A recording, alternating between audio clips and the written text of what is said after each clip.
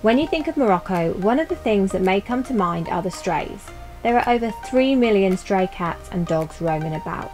A lot of donkeys too, and camels of course, which are a major pull for the tourists. But when you think of Moroccan wildlife, what do you think of? We had to do a quick Google search to find out because every day is a school day and we wanted to know what we might be letting ourselves in for.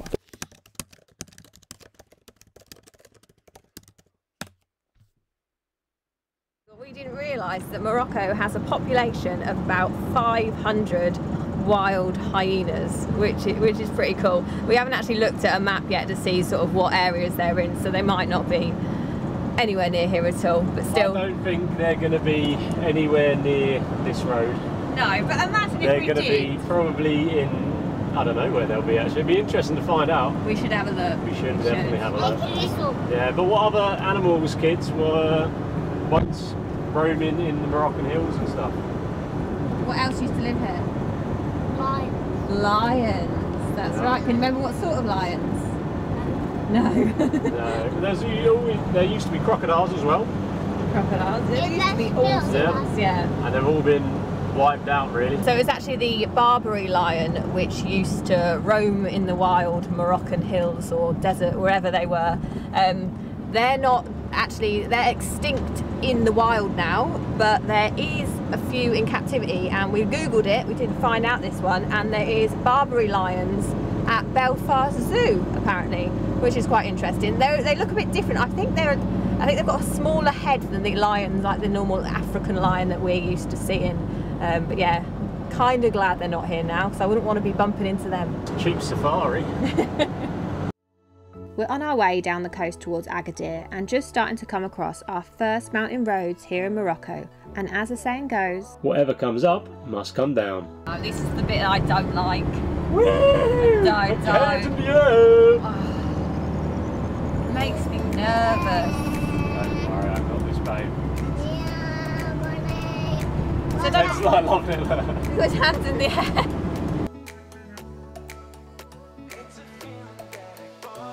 So we're going down quite a big mountain slope at the minute, and again, the retarder exhaust brake has not come on.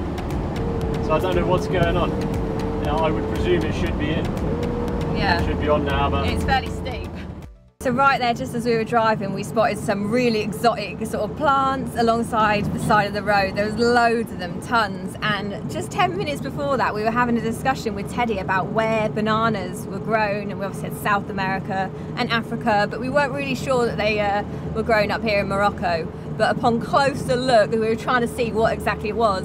And they were in fact banana trees, which is really, really good. So we just passed a banana plantation and then alongside a little bit further down there was a, a little shop selling them and it said like bananery a bit like patisserie i guess. Um, but yeah really really cool to see that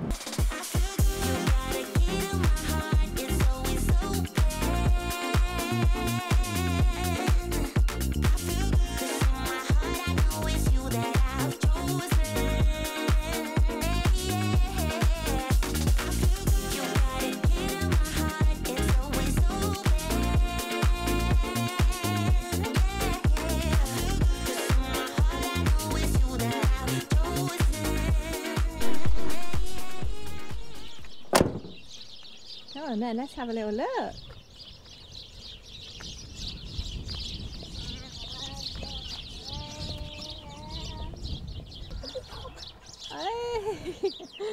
How cool is that? Peacock, chickens. We've got some chickens here, Teddy. Got some bunnies. Looks like someone attacked it.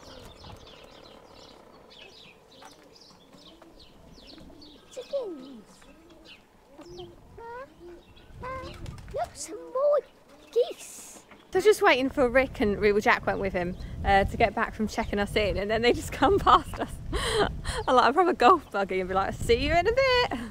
So I'm just waiting for them to come back. They're obviously gone to look for our pitch. Someone's taken them to find the pitch, see where we're going to park up.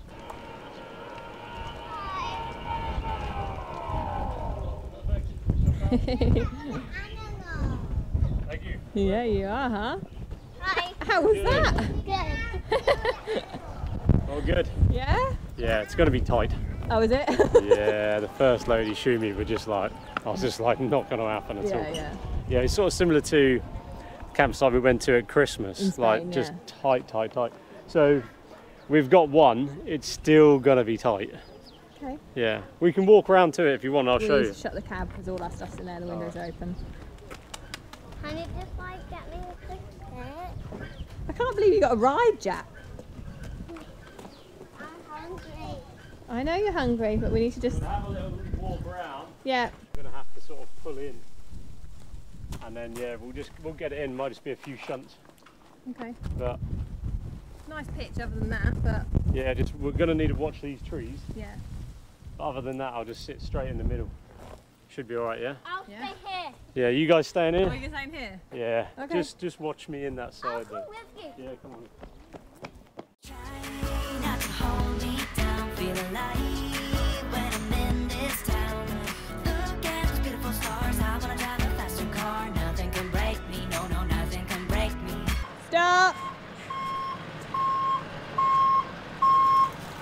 Richard! Richard!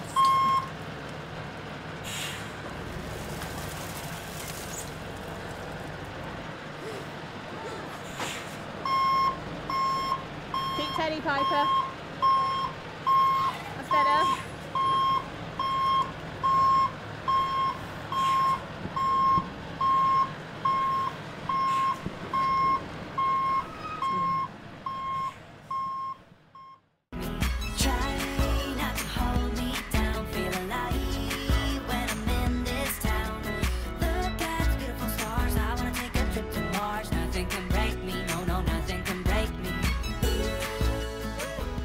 So come down to the swimming pool here. They've got loads of really cool slides, log flumes, and we were hoping to get Like the kids on them. type. place. Proper resort, um, but they're closed. So uh, we're just chilling. There's a little toddler pool that the kids are playing in, and you'll just be able to hear that music that started playing. It is a proper like over. Retirement home.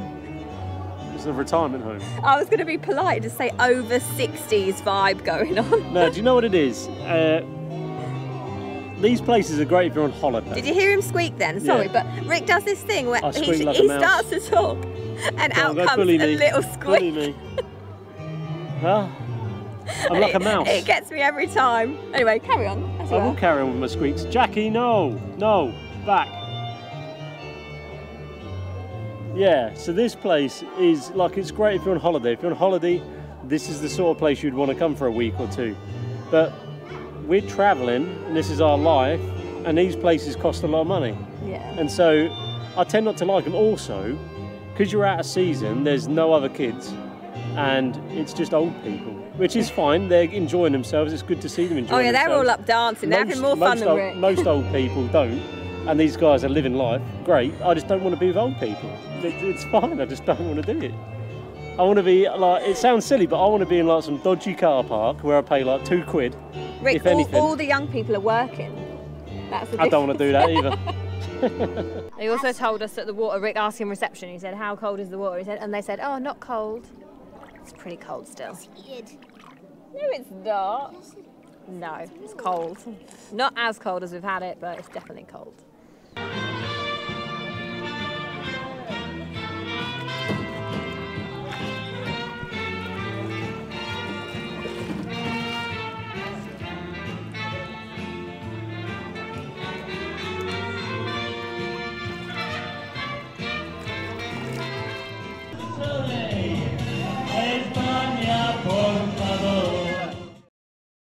Good morning. So we're actually leaving this campsite today. I was supposed to be walking in front of the lorry to help Rick get out and navigate around the pitches and down the lanes, but he's storming ahead. He knows what he's doing. Needs very little help from me, which I'm quite glad of. Uh, so yeah, today we are heading somewhere quite exciting, but it is a little bit of a surprise for the kids. So we, we've kept really quiet. We haven't even told them where we're going. They've not even asked where we're heading today. So I think they just think we're maybe just heading to a new park up. So we're keeping quiet and uh, we'll see how the surprise goes down. Yeah, we do need to make sure we do some schoolwork. How to have one more day off. No, it's important. Can we learn about citizen science? That is what I've done today. I think we're going to do biology. Right, let's find our park up. that's the military, On the look. roundabout, I just saw a sign saying Croc Park. Oh, you get pulled over? Look, Croc Park. Croc Park. I look Croc Park. He's not. Just Uh, keep going. Keep going, keep going, keep going. He ain't official. no. Definitely. official. Croc Park. what? Croc Park. Croc Park? Uh, he looks official. Yeah, he's telling us to go with the coaches. Wait, What? is this where, are we going to Croc Park? Wait, what? What? How did we get here? I just thought that. Seriously, I just did. what? I, Jack, we going to Croc Park. Um, did we really please to Croc Park? Yeah. Yeah! we going to Croc Park. But uh, I was I was kind of weird when we were We're going, thank you, Mummy. You're welcome. Can we go straight away? Like when I Yeah. saw out that roundabout and Jack saying that, that Yeah. we're, and we're nearly there at our stop, I was like, I think we're going to Croc Park. Oh, Actually, you it's similar are. to like, uh, re- remember when I didn't know we went to that Santa place? I know, we like tricking you. Alright. Just say go back a bit more, I think. No, 'cause the coach is quite far back. Look at the crocodile. Keep going. Of course it does. I'm not sure if there's crocodiles at Croc Park. I feel like I'm really on the wall. Seriously, th- th- of course there is.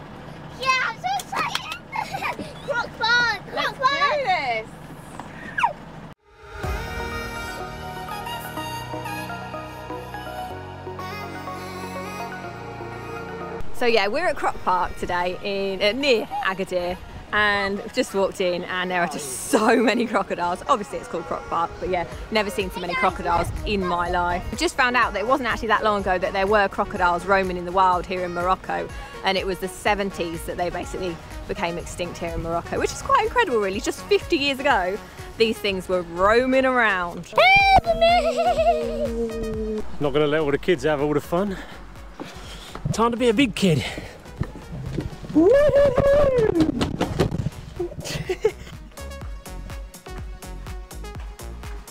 Raw! Did you knew I was gonna do that? I heard, how did I just know you, yeah. Whoa, oh my days. They're very close, huh?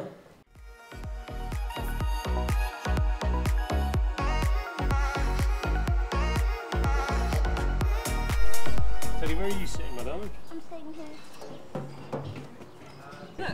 Look at this. That's really cool. Can we have?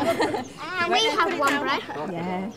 Let's have a look. It's really cool, isn't it? Are it? those olives? Oh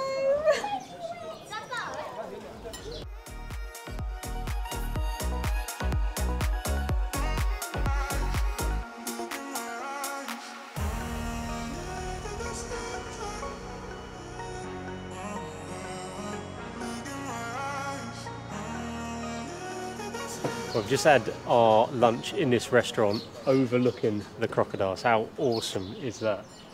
I don't think any of us have had a restaurant experience like this, have we? There's one coming for you. Where's my crumbs? There's one walking. I see one Do you? You have to look because they don't move fast, do they? There- Unless there was food. If there's food in there, they move very fast. Maybe that's like. Oh, look, there's one getting in the water there. Look. and, and, and off it goes. Yeah. So all that's left now is just to pay the bill. So I'm just waiting for Richard to do his standard sign for the bill. You just wait. I'll try and get it on camera. It's not a standard sign. Has anyone watched Lee Evans? Uh, his standard, one of his standards, I don't know what it's called. Can I have the bill? Can it have the bill? like all British people. That's what all British people do from across the restaurant. Can I have the bill?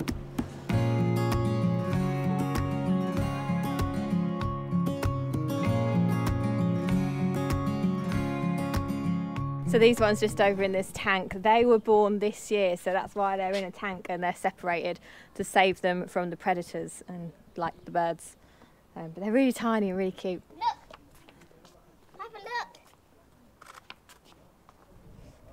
Look, Don't shout, Jackie. This is the Look at closest that. one. There it goes. Oh, look at his. Look at his claws. I know. This He place does is look like a dragon, epic. doesn't he? Yeah, epic. And there's one up there as well. Yeah, smaller one. Yeah, that was the bearded bit. So weird. Last time we see like these weird thingies. Yeah. Look, what are they called again? Iguanas, I think. Iguanas. Yeah.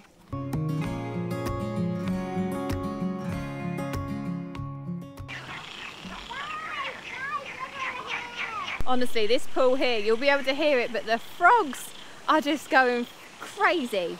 Like I've never heard so much life, just like vibrant. There's fish swimming, frogs spawn, and it's almost like the longer you stand here, the more frogs you're going to spot because they're just everywhere.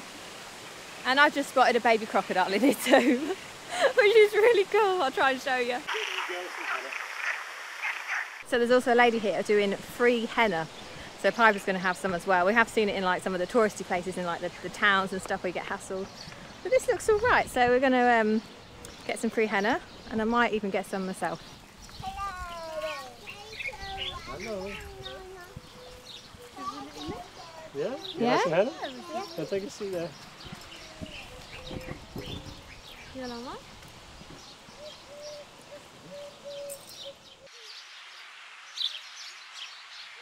have a look, Piper. Oh, look at that. How cool. Do you not don't touch it. Oh, that is pretty. Very cool.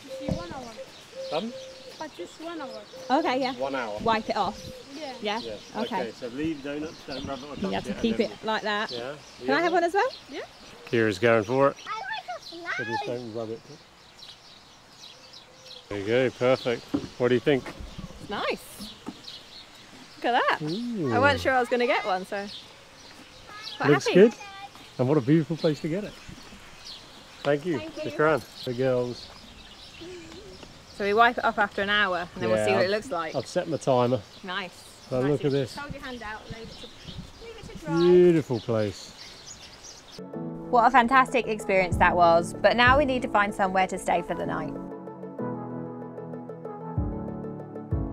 Right. I got pictures.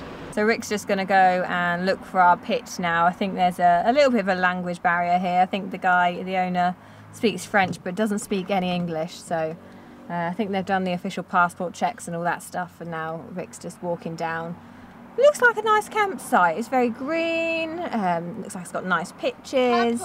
Um, but I'm not sure how big the pitches are, so it might be another interesting one for us. The pitches are not that long. They're only about eight, eight and a half meters. We're Right. obviously nine, Yeah. but there is like a gravel area mm-hmm. over the back. Well, okay. So, and there's two motorhomes on there, and it's like that's just a big gravel car park area. So I'm happy just parking adjacent to the wall, Yeah. you know, over there, and I'm happy with that. Okay. We'll give that a go. Like the bays, These do look really short. yeah, they are. You can see that caravan there. It's not very long. We'll be poking out a little bit. So again, as I said, I'm happy with the other end. Where are we going then? Yeah. Oh, Ah, we're going to ruin their game of bowls. well out there. Apologies. Richard, you can't have a first a bad impression. You've literally I know. turned I've up. literally turned up, and then people are just like, I'm not sure they're really moving anyway. I babe. don't know. I could just reverse it. Yeah. That's hilarious.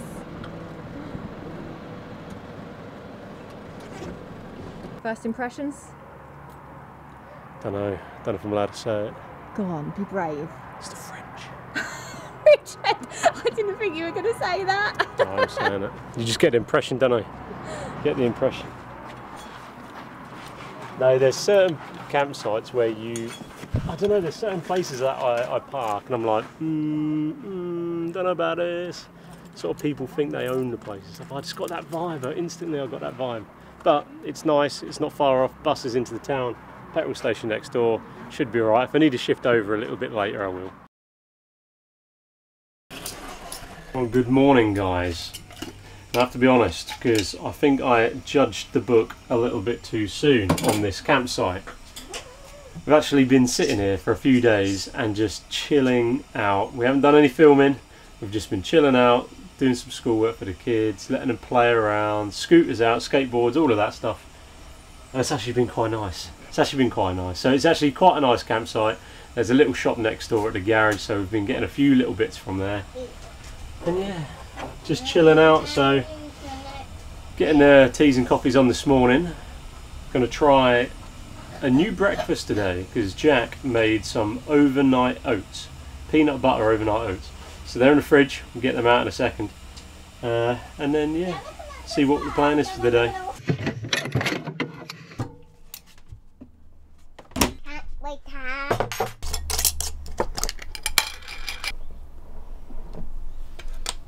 So do you remember how you made them? Yeah. How? Uh, first you have a cup. Yeah, He puts uh, a whole cup of oats in. yeah. You put it in like glass jug or whatever, Mhm. uh, and another whole cup uh, of milk. Yeah. Half uh, of the same. And you mix it all up, don't you? Yes. Mix it all up. So the good thing about these oats, you leave them overnight to absorb all that milk, and you don't cook them. So normally with porridge, you cook them. Huh?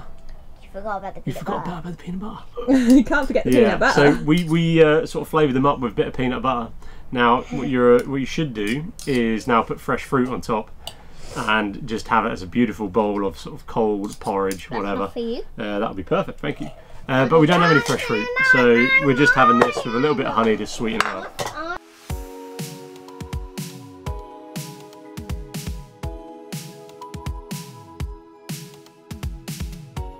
So this morning we're actually going to be heading into the town itself. So where we're parked now is the outskirts of Taroudant and we need to go to the town because our fridge is so empty and we want to have a look around too. We've heard it's a bit of a mini Marrakesh. Uh, so we're going to have a tidy up in here and then we should be ready to hit the road.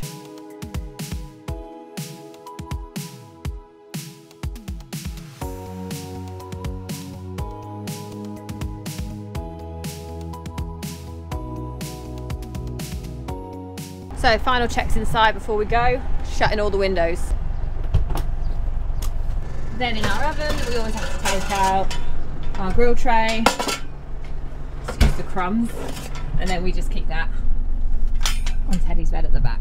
We'll also need to empty our toilet jug, just our wee jug in there, but I'll leave that one for Rick. Then we check all the air vents. That one up there is closed. Uh, let's have a look at this one over here. That one's open. Me if I'm cold touch. I've just noticed one of these is missing, which means they're probably going to shake around, so I need to put another one of those back on. But other than that, everything does stay in place. Um, I'll just have to move this chopping board. I like to move that when we travel. And again, just pop it on a bed. Things stay nice and nice and still. This drawer here also tends to open when we drive, so we just block that off with a few boxes. Just to keep it in place.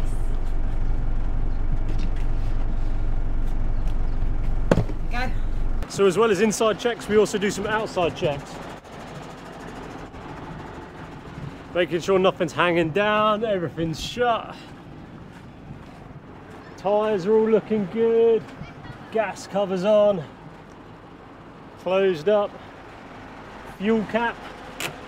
Don't want anyone nicking me fuel. That's all good, that's all good. Yeah, we're looking pretty good.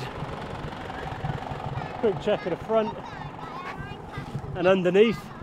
Yeah, that's all decent. So that's it. We're good to hit the road.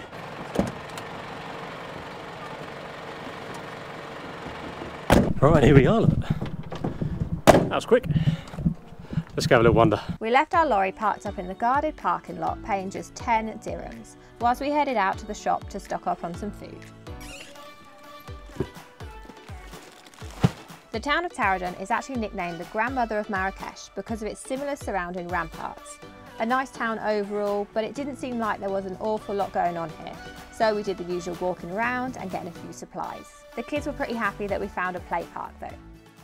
Right, so that was really weird. We just took the kids to the play park just there, and some guy, I was obviously had the camera on me, and some guy came up and he was like, Can you take pictures of me? And so he arranged, he took my number, took my name, and he asked me to take pictures of him and his kid. Um, his phone was obviously very basic, didn't have like a camera functionality, so I'm guessing it's the novelty of actually getting a proper picture taken that he wanted. So I'm hoping that he can actually send me a message and then I can ping those photos to him. But it's really nice to be able to do that.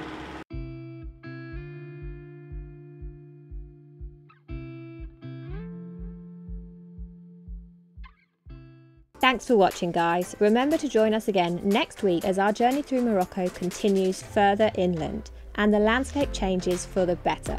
We find an incredible wild camping spot, stop off at the most famous gas station in Morocco, drive through a sandstorm, find ourselves in Egypt, meet some more local wildlife, and the road we are driving on literally disappears.